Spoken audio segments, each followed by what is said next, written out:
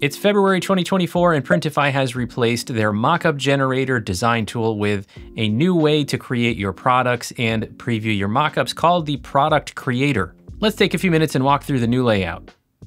All right, so let's take a look at the new product creator from Printify, which used to be called the mockup generator. Essentially, this is going to be the new view for you to create your products and place the design on products as well as preview your mockups. So if you have existing products, just go to your My Products page and click on the paintbrush on one of your products, just like you always would, and that will open the new product creator view. And as I said, you can also go to the catalog and select a new product if you don't currently have a product that you'd like to copy from your shop. Click on any of the new product listings and then select a print provider. Click on Start Designing and you will be launched into the new product creator. Now, this new product creator view doesn't actually incorporate any brand new features. It's more of a redesign than a complete overhaul. So it will make several of my old videos look a little bit confusing now because I've showed this many, many times in the past and it looks a little different. In terms of navigation though, it is pretty simple. You have a left menu here. Instead of everything being on the right now, you've got a left menu that's got your options for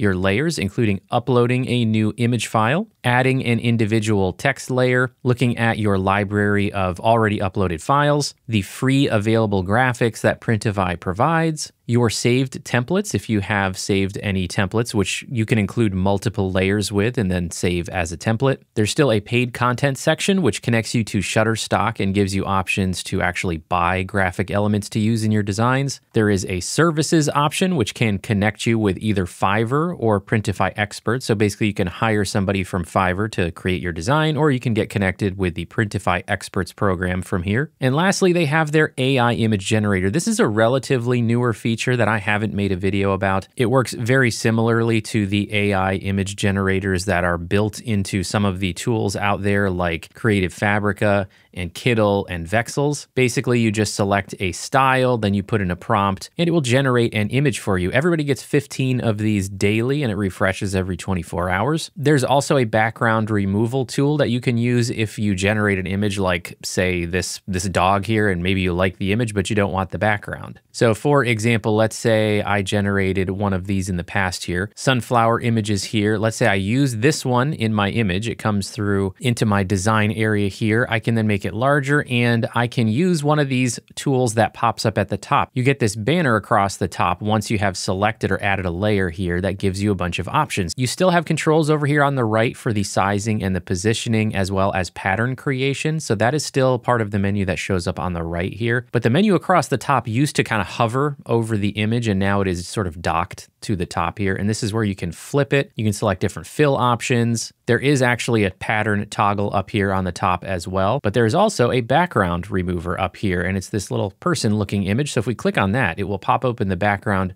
remover where you can actually manually remove it like this with a brush and it will let you do that. And that's easy to do if you have, you know, really large obvious edges, but you also have 3 times per day that you can use the quick remove feature where it will automatically remove the background for you. And then there's also a reset button here so that you can go back, or you can just X out of it if you don't want to apply that change that you made. One thing I do want to point out is that the AI generated images, from what I have seen, usually give me a low resolution message when I try to use them on large prints, like on clothing, like on t shirts. So I don't know if the AI images on Printify are really up to using on larger prints. They definitely should be able to be used for things like stickers, smaller prints, smaller items. But you may want to generate your images on one of the other platforms which give you a larger image if you're trying to use them for a poster or a t-shirt or sweatshirt. I'll add one of my images here just so you can see those controls one more time. This is more of a classic flat PNG image that I have uploaded and you can see you have controls up here at the top. So we can flip our images horizontally and vertically. We can choose fill options if that's easy for you. I like to use those more often on a solid image like a, on a poster or something like that. One other small feature here that's relatively new to Printify that I don't believe I've covered previously is the ability to crop here in the image editor. You do have a cropping tool up here. So if you have part of an image that you don't want to use, and it lines up sort of in a straight line that is something you want to crop out, you can use the cropping tool to actually crop the image in your design.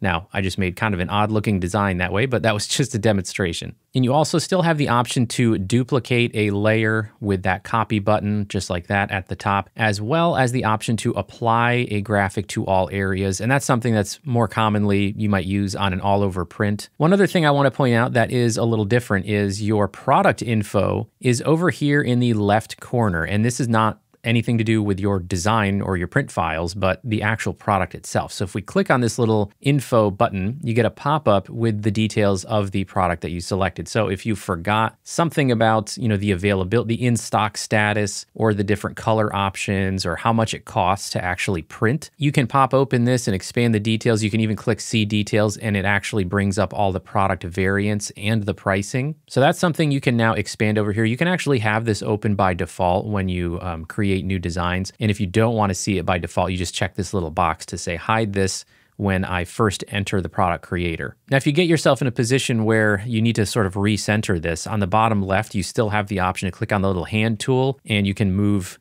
this around to get it positioned so that it is where it is most easily viewable for you. So that is still nice that they have that down there. Now back towards the right side of the screen, you do still have your control over variants there as well. So as you can see, it tells you which colors you currently have. You can click on select variants and you have the option to select or deselect the sizes for apparel as well as all of your different uh, color options here. And then you can, of course, switch between your different color options just like you could before. And you still have the ability to edit the print file settings for an individual color option. So maybe, for example, for this asphalt color, maybe I have a file that's sort of the inverse of this where everything is white instead of all black. So I could create a specific design for that one, delete this file, and then upload the one that's all white. And then I'd have this as an option within the same listing, but just showing a different color that that, that better fits the color of the shirt. And your layer control will be over here on the right as well. So if I add another graphic element, you'll kind of see the layer control here. Now let's say I added this as a layer and I wanted it to be behind the other image in my design. All I'd have to do is come over to the layer controls on the right and go down to the one that's on the bottom here. Look for this dot menu here where the little hand appears. Grab that and pull it up so that it is on top of the other layer and it will swap the order of your layers. So you still have full layer control over here on the right as well.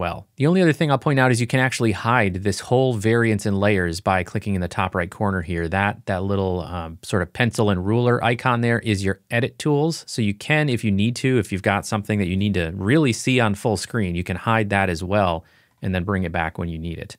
Let's just take a look at the preview view here and then we can wrap this up. So your preview view is pretty much the same as it was before. In the bottom left corner of the screen is still where you have the button to download individual mockups. So if you're going to edit them separately, if you need to upload them manually to your uh, sales channel, you can download them individually by selecting the one that you want to download and clicking that bottom left corner button. And then when it's available, you can still toggle between the realistic and the bright and colorful mockup options. So you can have it basically display in the converted CMYK color profile versus what it's uploaded as, which is RGB. And of course, that is more important for like bright and colorful designs to show them in a more realistic way. And for some products, you can also still add your own background. This is available for apparel and I believe mugs and a few other products, but not everything yet, where you can actually upload your own background image like say this living room scene here, I can add this as a background into the uh, mockups that have a person. And for my lay flat mockups,